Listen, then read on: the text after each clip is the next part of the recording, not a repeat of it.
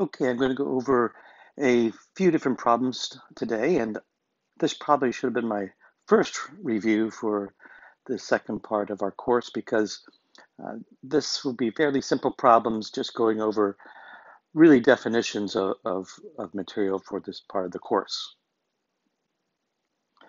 So this first problem is from a link I have on my webpage for additional practice problems for test two. And you're basically given two points A and B here, and you're trying to perform certain tasks down here that are just really checking to see if you know what the notation means. So first we want to check what B plus 2A is. And what you're supposed to do is treat these like vectors. So I have 2 minus 2 for 2A, and I want to add that to 1, 3. So 2 plus 1 is 3, and then the minus 2 plus 3 will be 1. So this should be 3, 1. This is the vector from A to B, and it's squared means that you're dotting it with itself. So multiplication will be dot product. And so we want to check to see what um, this b minus a squared is. It's just the dot product of a certain vector with itself. So uh, the vector going from A to B is going to be 0, 4. And we want to dot that with itself, so we should get 16. Another interpretation of taking a vector and dotting it with itself is it's the length of the vector squared. So we could have just taken the distance from A to B and squared it.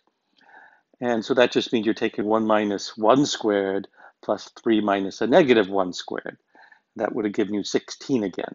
So just the square of the distance from A to B.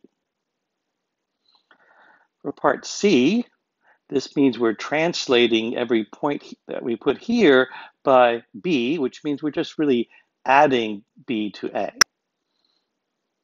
So we're going to take the sum of these two. And so this is just going to be 2 and 2 here. So 1 plus 1 and 3 plus a negative 1. So the answer should just be 2, 2. And finally, this part D is a rotation about A by the angle pi, and we're taking B and rotating it about A. Now, B and A here both have an x coordinate of 1. So maybe just to clarify in a picture here, so I've drawn in the x-axis and the y-axis. Uh, a and B again have an x coordinate of 1, so they're on this line. And A is going to be at 1 minus 1, so it's down there and B is at 1, 3. So it's up 3 from the x-axis. And what we want to do, to clarify, is to rotate B around A by pi. And we're doing counterclockwise, so that doesn't make a difference when it's by pi. So we're going around A by pi. So B should be on the other side of A, and since this is 1, 2, 3, 4 up, it should be 4 down, 1, 2, 3, 4. So it should be right there. So that's where the rotation of B about A is, just right there. And we can see what that point is. It's 1 over and 5 down. So we're at 1 minus 5. So that's the answer to part D. And that's all there was to this problem.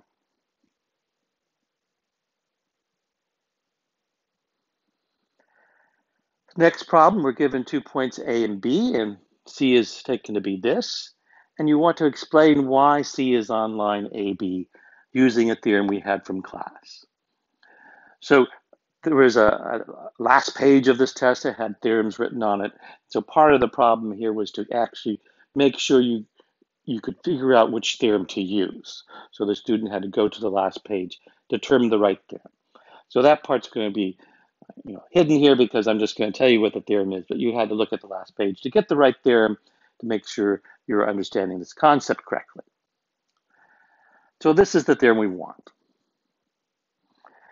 And this theorem is straightforward in, in terms of this because all we want to do is to use the same A, B, and C uh, that we have up here down here. I'm not going to change A to anything else. It's whatever A was up here. And B is whatever B was up here. And C is whatever C was up here. The only thing I need to do is define t, and you can see I need a 1 tenth times b. So t should be 1 tenth. 1 minus 1 tenth will be 9 tenths. So that'll be what's being multiplied by a. So in terms of the work, you just really need to be say, take a, b, and c to be as in theorem 1, and take t to be 1 tenth. And then you get that this point has to be on the line through a and b. So that's all there really was to this problem. Let's look at the next question. Again, this is going to be a, a notation question to make sure you understand what all these things are saying. Uh, this is saying we have four points and the distance from A to B is the same as the distance from C to D. So again, really this is a distance squared, but of course if those are the same, then the distances are the same. So we want four points and we want the distance from A to B to be the same as the distance from C to D. So we have some picture like this given this first part.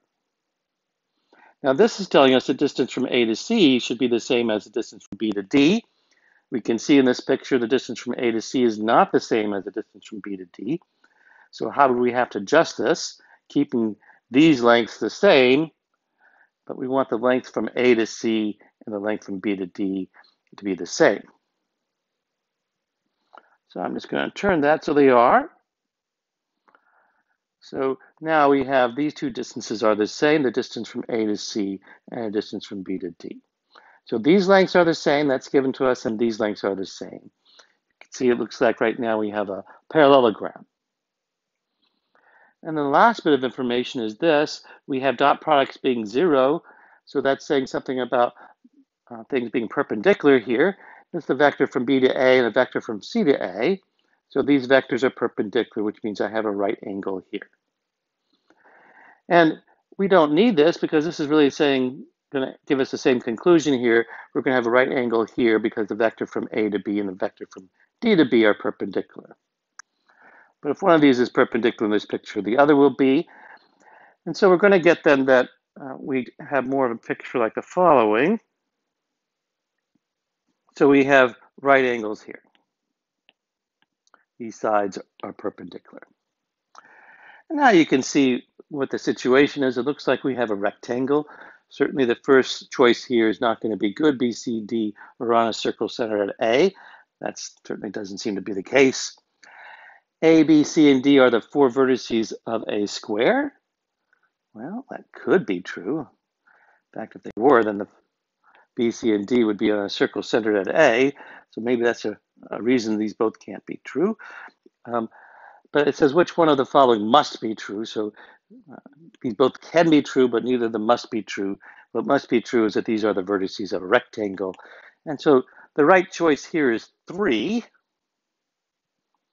So we should pick 3 for our answer.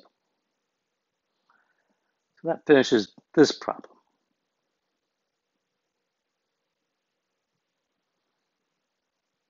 The last two problems I want to look at are problems related to vectors and making sure we know how to use vectors. But in a lot of ways, this is still definitions because these are about midpoints. And I just want to make sure you know what midpoints are. I can use the very basics of vectors to say something about some geometric picture. So here we have a triangle ABC, and D is the midpoint of BC here.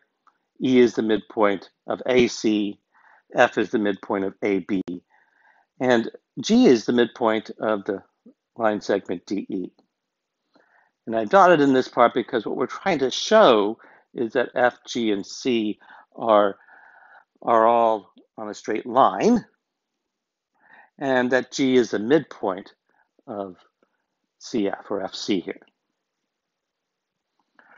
So let me move some things up here and just clarify first that this two things we have to show is really just one thing. If I can show G is the midpoint of CF or FC, that's going to be enough. If I know G is right in the middle of this line segment, then that means they're on a straight line and G is the midpoint like we want of CF. So part of the reason for me saying this and making this clear and noticing that right away is not because it's the first thing you should do, it is, but the real reason is so that I have more space here. I can get rid of this part up here and just look at the picture. But we still need to know the information about these points being midpoints, and G here is a midpoint of ED.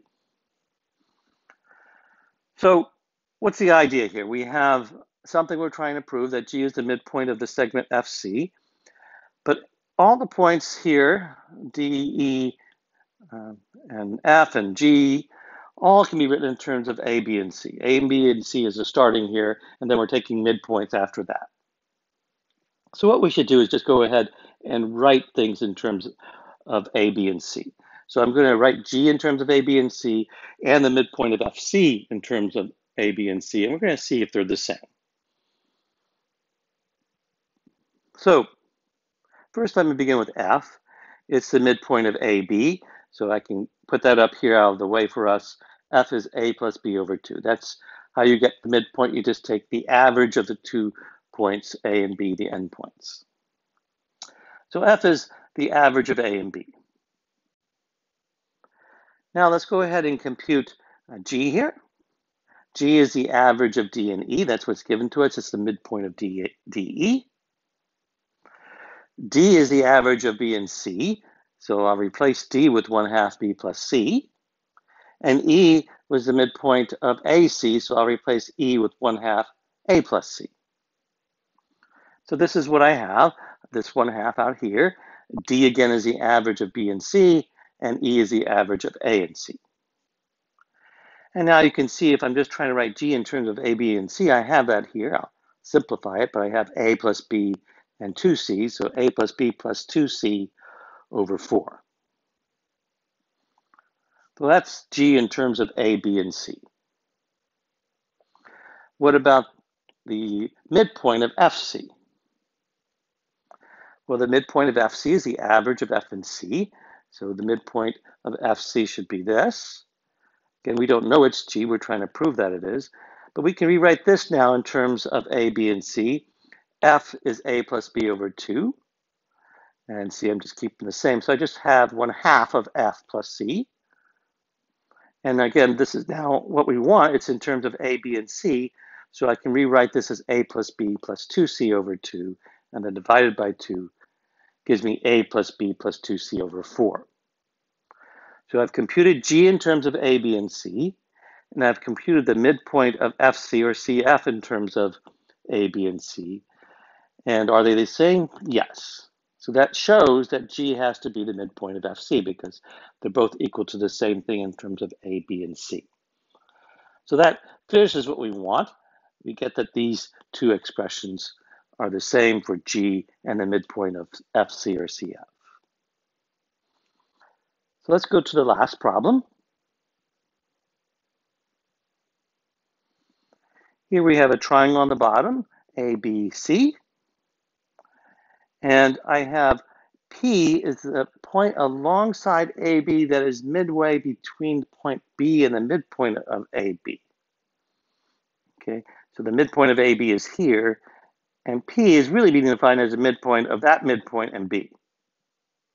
So in other words, if I compute the midpoint of segment AB, I get this point, and then I want the midpoint of the segment joining B to this point, and that's P. Similarly, for Q, if I take the midpoint of BC, I get this point, and the midpoint of this point and B will be Q. Here we have on the other side, AC here, this is the midpoint of segment AC, and the midpoint of segment A going to this midpoint here is R.